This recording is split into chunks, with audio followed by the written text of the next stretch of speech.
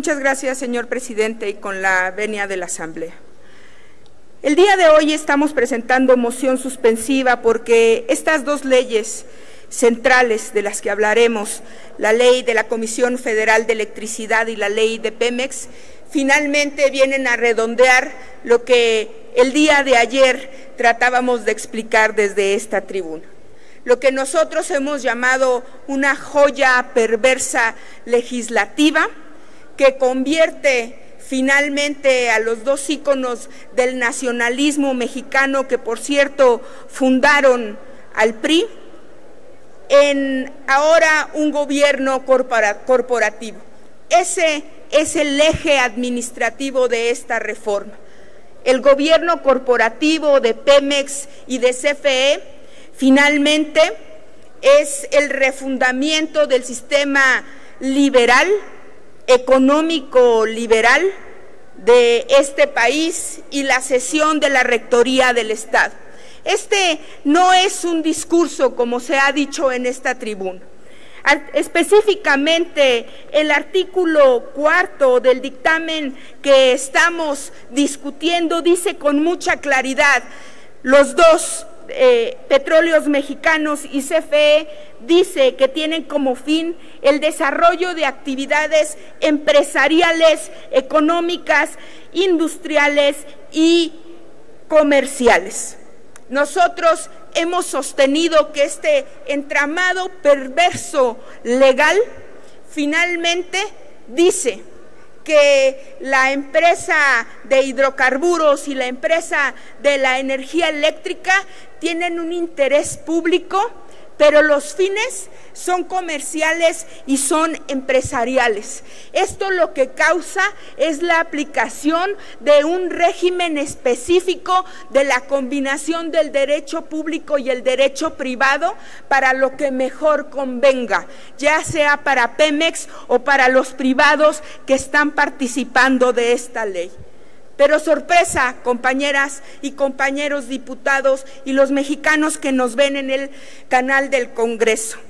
Pemex por condiciones no solamente del entramado legal que tiene que ver con que tiene una carga impositiva terrible del 4.6 del PIB, más otros impuestos que se le suman o derechos y aprovechamientos, seguirá siendo manejada por el Estado desde la Secretaría de Hacienda, pero además algo que no se ha dicho en esta tribuna y que es una realidad.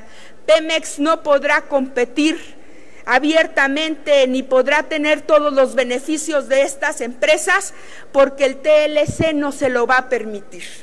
Será una empresa controlada por el Estado y por esta ambigüedad jurídica el TLC no le permitirá realmente venir a competir no solamente en igualdad de circunstancias, sino ni siquiera con los beneficios que van a tener no solamente las empresas extranjeras de nuestros socios económicos del norte, sino de ningún otro socio económico con el que ya se esté pactando la entrega de los hidrocarburos de este país.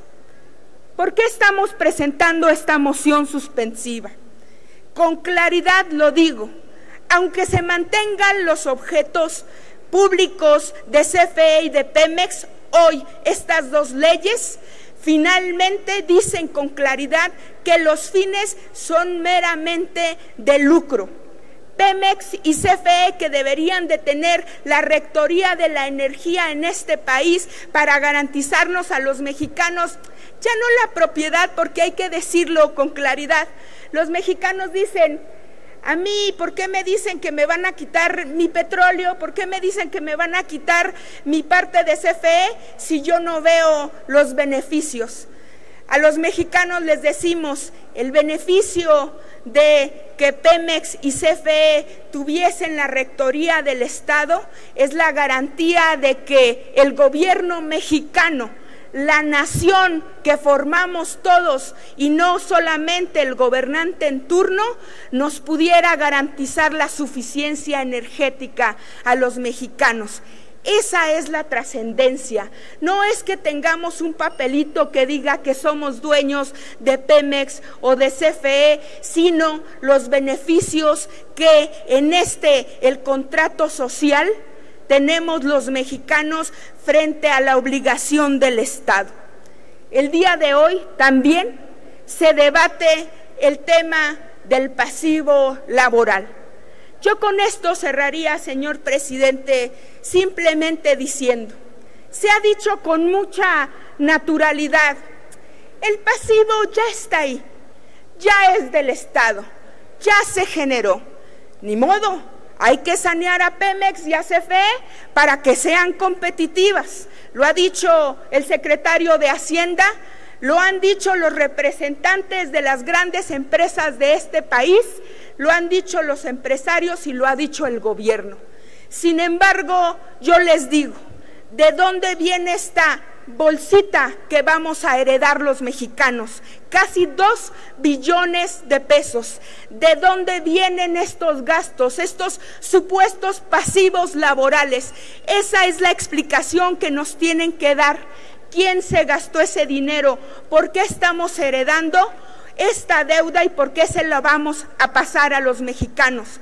No podemos, no debemos en esta Cámara de Diputados simplemente decir, ya lo tenemos ahí, hay que asumirlo porque la deuda ya es nuestra. No es así y tan no es así que el líder del sindicato petrolero, cuando este tema se subió a comisiones en la Cámara de Diputados, hizo una fiesta de Dios es Padre que nos dice cuando menos que algo se le está saneando por ahí.